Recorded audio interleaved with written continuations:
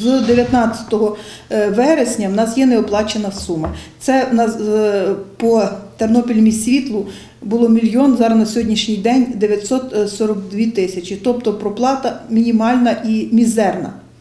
Це ми хотіли закупити світлофори нові встановити, і нам це не вдається. До кінця року, якщо цю суму не проплатять, знову будуть проблеми. Це є так само і заробітна плата е, працівників е, Тернопільміськсвітла.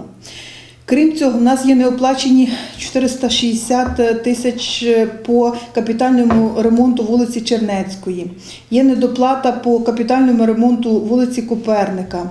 Тобто ця вся сума збирається. Загалом обласне управління казначейської служби боргує Тернопільській міській раді більше 5 мільйонів гривень. Щодня ця сума зростає, кажуть в управлінні житлово-комунального господарства міськради, бо комунальні підприємства продовжують виконувати свою роботу. Нам необхідно проплачувати і е, ще додаються акти виконаних робіт. Тобто ця сума буде збільшуватися. Кінець року. Е, У нас є багато е, ще неоплачених робіт.